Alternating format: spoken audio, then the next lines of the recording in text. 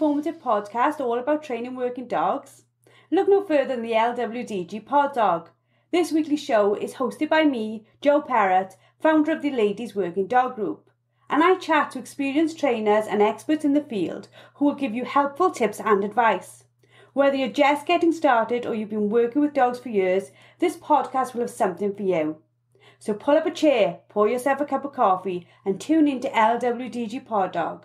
Let us help you build a better bond with your best friend.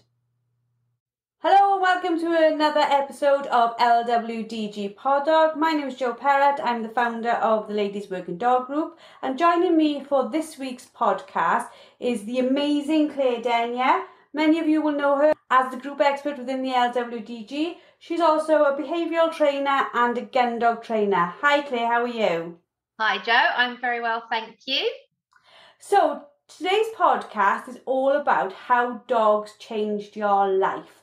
Um, I know for more, many people, they've got a story that relates to how the introduction of dogs has, has really changed their life or taken it on a different path. But let's talk about your journey. So, how did dogs become so important to your life? Yeah. So I did grow up with dogs, but not traditional gun dogs. So I grew up with a small Papillon and also with Dalmatians. so none of which I now have, although they're still in the family. Um, when John and I got together, he had a black Labrador who at the time was just over a year of age. Um, she wasn't particularly well trained. She was a lovely pet, um, but that was it. And that really started my love of Labrador breed um, specifically, but also my journey into gun dog breeds. And when we lost her, um, we waited a year to get our next Labrador, and that was when we got Indy. Um, Indy's almost 10 now, so that's how long ago that was.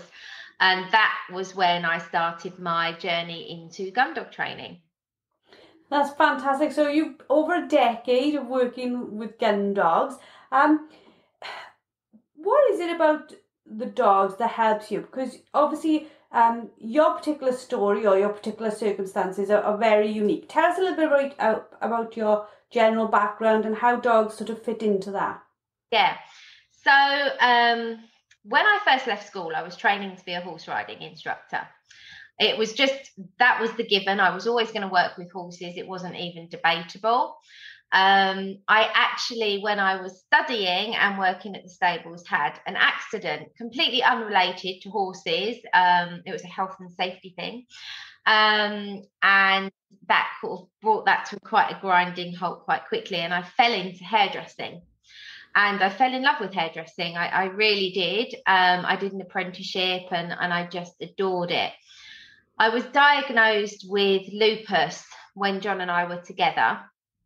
And I was told very early on in my diagnosis that within seven years I would be reliant on a walking stick, um, would have mobility problems. And that obviously for me said, hang on a minute, this is going to bring an end to my hairdressing career which I, which I absolutely loved. I would enter L'Oreal Color Trophy. You know, I was competing at a high level um, in that in that sort of arena, and I was absolutely devastated. But I didn't want to lose that industry, so I ended up opening my own salon, thinking that well, if I can't do hairdressing anymore, if that's the long term prognosis, then I will own a salon and develop other people However, uh,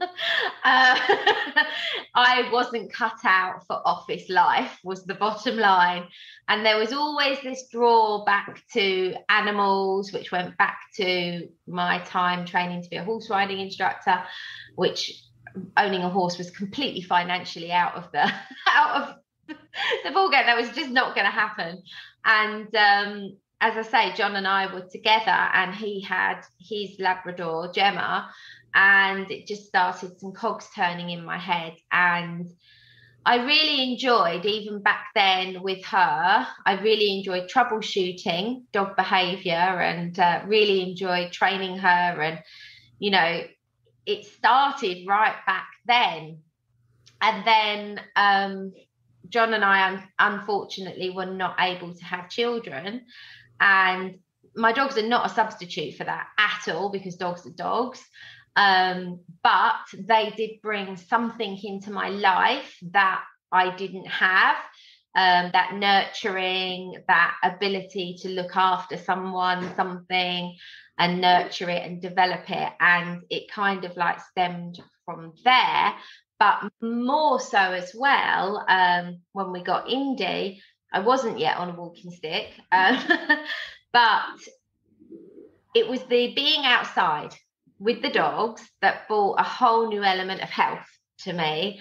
And the walking was incredibly good for my health and my well-being. Yeah and i can i can understand that with the dogs playing quite a big part in even today keeping my mental health positive. Um you know I think when we are highly stressed, taking them out and doing half hour, if a walk or even half hours training, just allows you to escape from that that sort of sadness you feel and escape a little bit from life, doesn't it? Um. So obviously you you started with the one dog, and then that became two dogs, and then that became three dogs. Yeah. Um. What lifestyle changes have been brought out by the dogs, other than you know you say you started walking? And there's health implications of that of, of feeling better. But what other sort of lifestyle sort of changes started to happen when you had the dogs? Yeah. So obviously there were the health benefits of being active. It was keeping the joints mobile and flexible and i felt like i was winning all the time because it's like well the doctor said that i'd be on walking stick by this point and i'm not.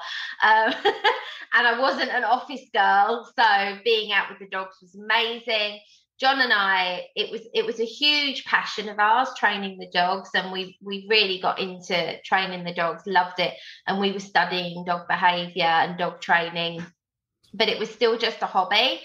Um, and then after Indy was attacked and had her breakdown, and so many people said to me that dog's career as a gun dog is over, and that dog won't have quality of life, and. It, this is going to sound really strange, but almost I was like, well, hang on a minute.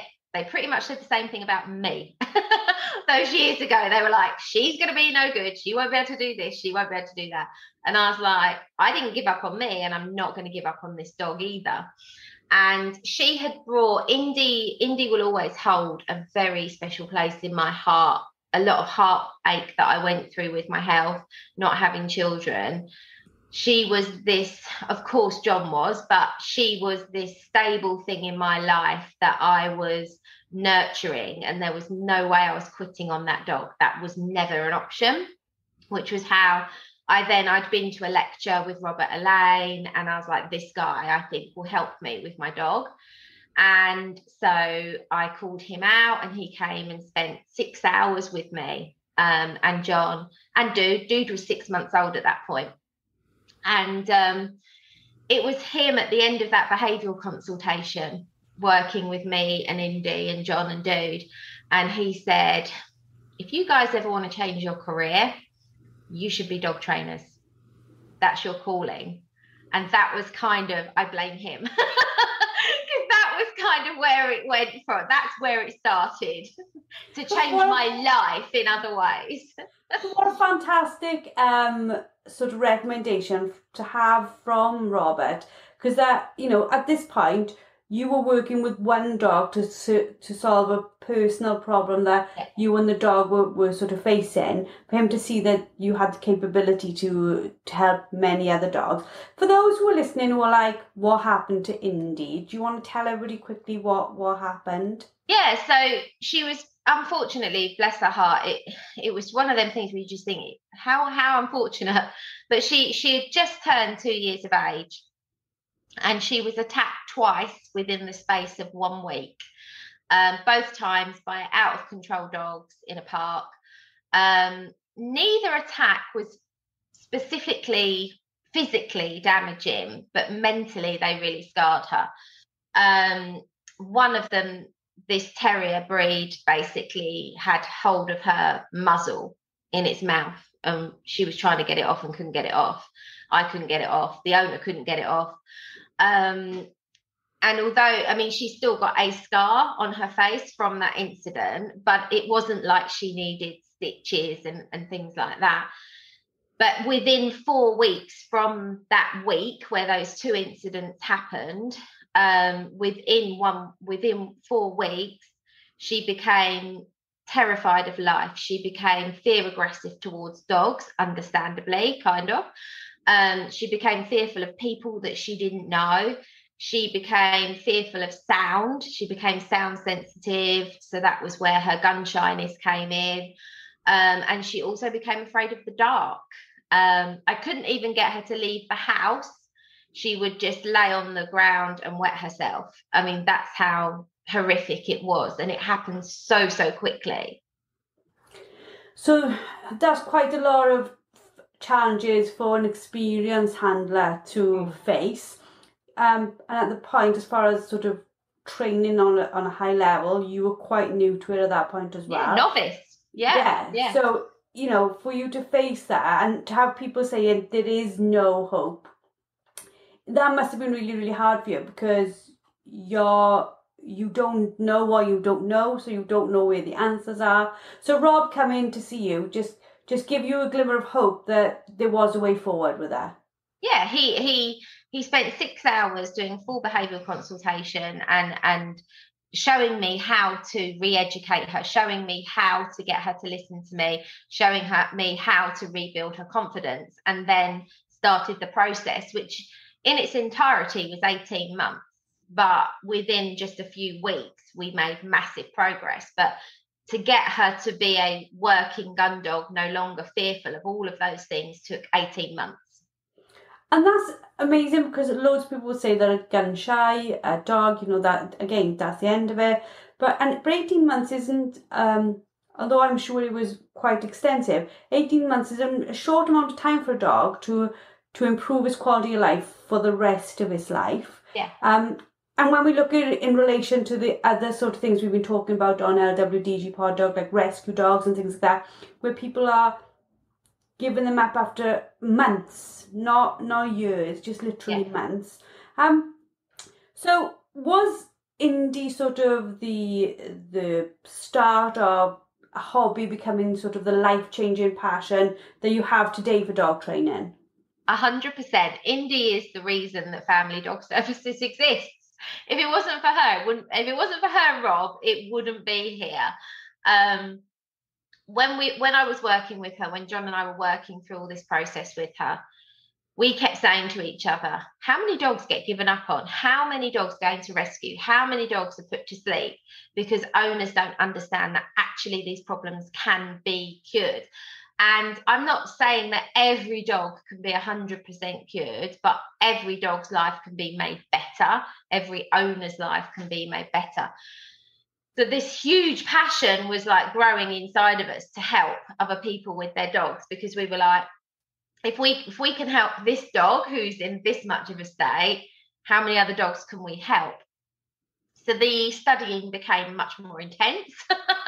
And uh, we did lots and lots of courses um, and we we studied everything that we possibly could. And we knew that long term this was going to be something that we would want to do as a career. But it was a really frightening it was a really frightening idea. John had been working in the same it company for 24 25 years um, and i had the salon um, and I, I was developing people within the team and i was like well i could edge away from the salon because i'm developing people people want to grow and if i step out they can grow um, and then John was basically made redundant. and so I said to John, well, it's now or never, really, isn't it? So this was back in 2016, Family Dog Services, 2016, Family Dog Services um, started as a full time as a full time job. Yeah, that's that's quite incredible because the the first Facebook group for LWDG in its very first form started really around the same time. So really, yeah, it was it was the end of 2015, the beginning of 2016. So yeah. it, it's sort of like it's interesting to see how the whole industry progressed, but that you've almost been there to see as those changes have have been made. And you know, it's not just our organisation, but the the industry as a whole. I think it's gone through quite a lot in seven years. Yeah. Um, and seven years for any business um, is a long time in relation to the the length of of, of time companies stay open. So now that you've sort of made the complete change. Seven years is enough to say this is a permanent change and, and you're absolutely obsessed. And I know from the work that you do with, with our group that you are absolutely passionate and, and forever giving of your um, time, your energy, your experience. Tell me more about like learning more about dogs to help transform their lives, known as lives, where you've done all that sort of training is it a big thing to you to then impart that knowledge onto others? Yeah, it's huge. I mean, I get quite frustrated when I see people struggling so much with their dogs, knowing that things can be done to help their dogs. And this is why I'm really quite proactive on the groups, like reaching out to people and encouraging people to reach out for help as well, because like I say, I only have to go back to Indy's story, and there are so many stories out there of dogs that are struggling and owners that are struggling, and, and they're being told, you know, you can't achieve this, you won't achieve that, move the dog on, you know, all those sorts of things. And I think it, I find that quite sad and quite upsetting. And so I really want to reach out to people and help them and support them, but also because I know that for me, my dogs are family. They are family. Like I know they're dogs, they're not children, and, and, I don't call them my fur babies. And I think I may have done years ago, but I don't now.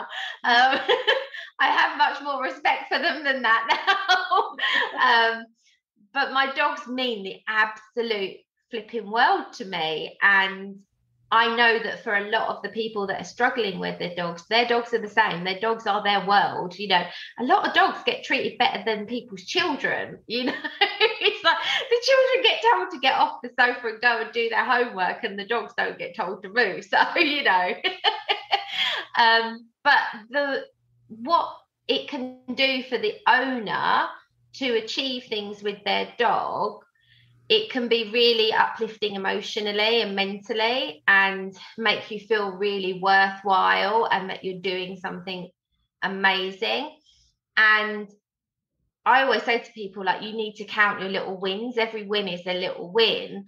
You know, it's not just the big stuff that's important. But dogs are not human. And I think we really underestimate how amazing dogs are for changing our lives as well. And like with your story, Joe, with the dogs as well, the difference dogs make to our lives is massively incredible and important. But we can make just as much as a difference to dogs' lives by being understanding and wanting to do what's best for them and learning how to to do that for the dog. And it's lovely to hear you say about the amount of time you spent researching and learning because it takes somebody with that type of mentality to be open to to finding ways to solve dogs because you know there isn't that you know you always say you, train the dog in front of you yeah. and, and with whatever that needs so you can't have one plan in your mind. You've got to have many and find the one that suits. Uh, I think if you've taught us that a hundred and one times. yeah. But, but no, it's it is like a really important thing. But as much as dogs can bring absolute pleasure, and I do understand, like I've got children, but my attitude with my chil- with my dogs, especially now they live in the house, is very much you're my babies. You know, mm-hmm. you can do what you want, which is very very naughty, but but they are my thing. But also, I suppose as as my children get older and they're very independent, I've brought them up to be like that. I've lost the little person who needs me to do stuff with them. So I've got almost uh not a standing almost. Do you, know what I mean? The dog standing and they let me do everything, you know. Uh, but I think as well, people don't realise that when they purchase a dog, you're talking about maybe a 8 to 14 year if not more commitment to building a relationship with somebody do you find that people get upset because it's not happening all at once yeah people get really upset when So if I break it down, like quite often we get people come to puppy training that maybe they're not gun dog breeds, they're just, you know, any other dog breed, um, which is really common. But they come to a puppy class and they think that attending a puppy class once a week for six weeks or whatever is going to train the dog. No. Um, people with gun dog breeds, they tend to then want to delve into, you know, gun dog training, whether it be more for a pet training basis or for gun dog work or competition or whatever. They tend to stay longer, but it, it's getting into people's mind and understanding that training the dog is actually for life, regardless of the breed. It doesn't matter whether it's a gun dog breed or or whether it's a Frenchie or whatever it is. That dog is learning for life through its interactions with us on a day to day basis. And you need to put that effort in with that dog. You know, and that's really, really important. And I think people really underestimate the time that goes into teaching and educating a dog for life. And it is for life, you know, even when the dog, so a lot of people will come to puppy classes and think that that's it, that's the dog trained. That's just the beginning of it. After that, they're about to go through adolescence. That's going to bring a whole new, you know, variety of, of um, not problems, but maybe challenges um, and then the dog gets through that and they go into adulthood and then that brings along more changes in the dog's personality and and behavior. But they seem to think that if you just attend a puppy course by the time you finish that after six weeks that's your training done. Well that's just the beginning of the training and the training is for life. It's in the home it's in the garden it's with every interaction with the dog um, and it's the same if you've got children, it is the same. The children are learning for life. You know, life is an education. And yeah, just as it is doubt. for us, it is for the dogs. At 42, I literally still spend time on the phone to my mum saying, What about that? But well, how does this do that? And I think it is that thing, isn't it? You you taking on a commitment that's going to be with you for such a long time that you've got you've got to be open to the fact of patience as well. It's not going to be a, a quick win. Do you think, though, um, as a as a trained and qualified behaviourist, do you think there's a not a lack of understanding, but a need for people to learn about why their dog behaves the way it does? Yeah, definitely. I think too often people try to humanize the dog and they don't see it from the dog's point of view. They don't see it from the dog's perspective. You know, it's like when people talk about, well, why is my dog sniffing this? Why is my dog doing that? Why is my dog cocking its leg on that? You know, these are dog behaviors and we need to understand them. That doesn't mean that we can't get into a position where we teach the dog appropriate behaviors and actions that are better for us because we don't want our dogs running around our house cocking the legs. You know, that's not acceptable. So, house training is one of the first things, isn't it, for the dogs that live in the home? Um, but yes, I, I do. I do think people forget that we're working with a different species. You know, it's an alien. Let's say an alien. You know, um, we're we're working with a different species, and it and it's educating the dog. This is how we live in our world, and this is how I'm going to keep you safe and this is how we're going to work together. Um, and it's such a fulfilling relationship you know for me my relationship with my dogs is so unique with every individual dog. They're all they're all individual all three of them. I train each of them differently. I reward each of them differently. I i interact with each of them differently. Um, and somebody commented on that once um, recently very recently. They were out with me and i had indy and i had rose. And I don't remember who this was. It was a friend, and she was with me with her dog. And um, she's, oh, don't you do it differently with Indy to how you do it with Dude? uh, no, with Indy and how you do it with Rose. I get confused by my dog's names. And um, and I said, yeah, I guess I do. But yes, I do because they have different motivations and um, they value different things. So I do talk to them differently and train them differently and reward them differently. But what I get from each dog is very, very different. Each dog brings to my life something very different. I think dogs are one of the, you know, I come from a, a, a my past as a child, I was horse mad too. And I, you know, the dogs didn't a look in compared to the horses.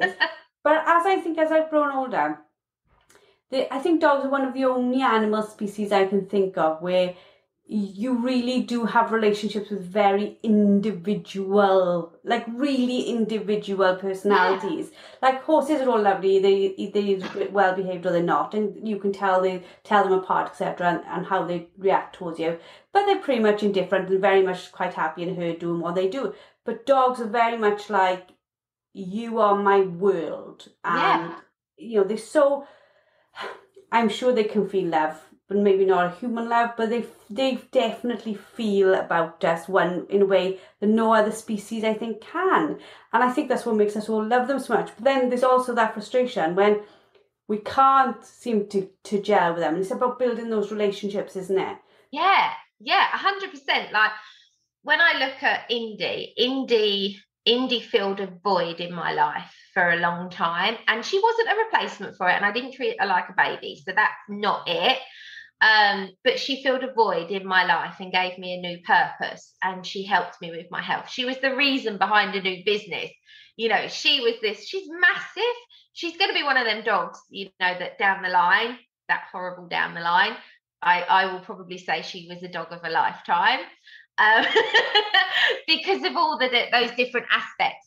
Dude then brought different aspects. He was like the first boy dog that I had owned.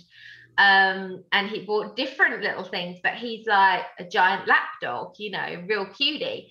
Um, and then Rose has shown me something very different because Indy's really serious. Like Indy's a dead serious dog. She doesn't like affection when she's training. She doesn't like affection when she's working. But in the evening, she likes affection. But she's like a proper serious dog and she always looks really serious. And Rose is this fun loving, cute character that wants everything to be a game. And that's how I've based her training. Everything's been based on a game. Like, you know, and I giggle so much with her. And it, it is like, it's not it, but it is like having three different children personalities in my house. Yeah. You know. yeah, but the reality of it is being as well, whether they're children or whether they're dogs, personalities are personalities. And when we grow um, um, a bond and a strong bond and a relationship with anyone, whether you know, you know, I can look at my husband and he'll know what I'm thinking before I do. I can yeah. look at my dogs and sometimes I know exactly what they're thinking before they do. It's yeah. almost it's almost written in their face or in their, their mannerisms. You know from a second what that actually means.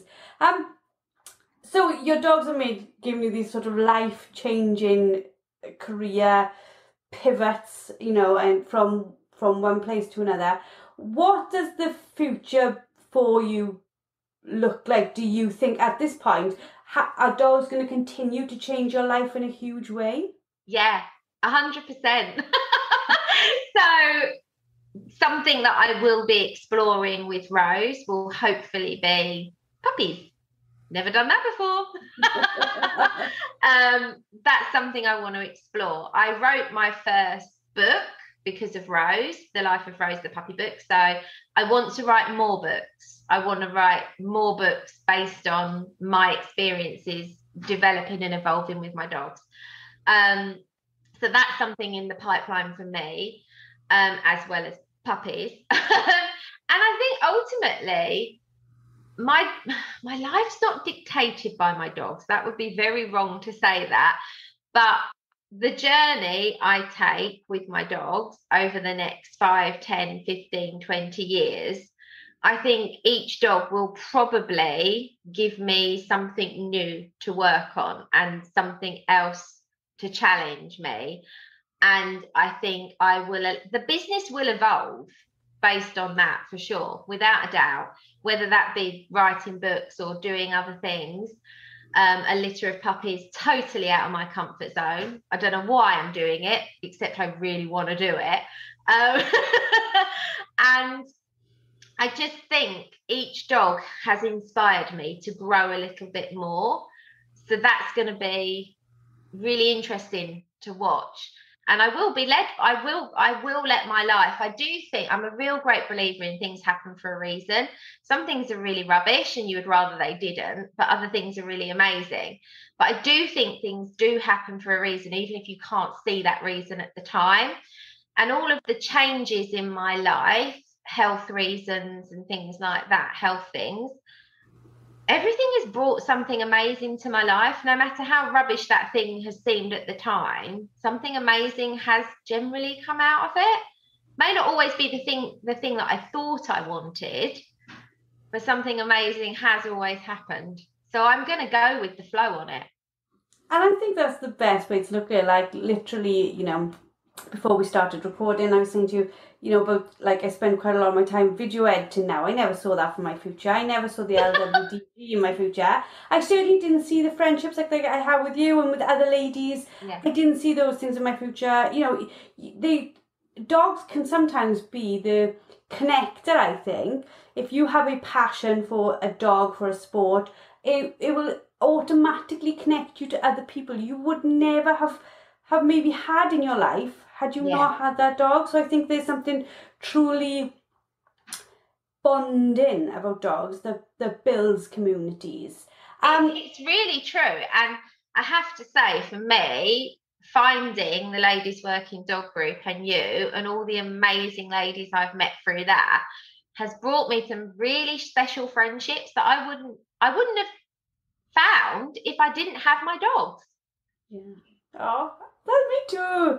Oh, so. Like, I, I class you. I class you as one of my best friends. Most people know that. Uh, you know, there's other ladies who I just think I would never. And like going to the game fair and seeing all those ladies come up to me in, in real life when you know we've just been through COVID and everything else, and then it was like meeting a friend with every single one of them. And I think again that's just something that the the dogs have built our community, and our community has built these friendships. Um most people will know how to find you, Claire. If they're in our group, they'll know exactly where to find you. But if somebody's listening who's outside of the group, how do they get in touch with you? Yeah, so I'm very accessible on Facebook um, through Family Dog Services, um, uh, email, website, Facebook, Instagram. I'm not so good with Instagram messages, so probably stick any messages to Facebook and website because, uh, yeah, that's how I go. But yeah, Family Dog Services is, is the business name, or contact me personally, Claire Denyer. Yeah. Fantastic. Thank you so much for doing this podcast with us and sharing your story. You've been quite honest and open about that. For anybody who wants to get hold of Claire, obviously you can do it in the channels that she's mentioned. She also has quite a lot of masterclasses in our in our masterclass library that you can check out. There's some blogs, you know, there's plenty of places where you can definitely find the information about Claire and the way she trains. So thank you all for listening to this week's LWDG Pod Dog. We'll be back next week with another episode in between Have Fun Training Your Dogs, and we look forward to seeing you all next week. Thank you for listening to LWDG Pod Dog with me, Jo Perrott. Now, we all know training a dog takes time, energy, and patience, but our lives can be really, really busy. Don't worry, the LWDG has got you covered.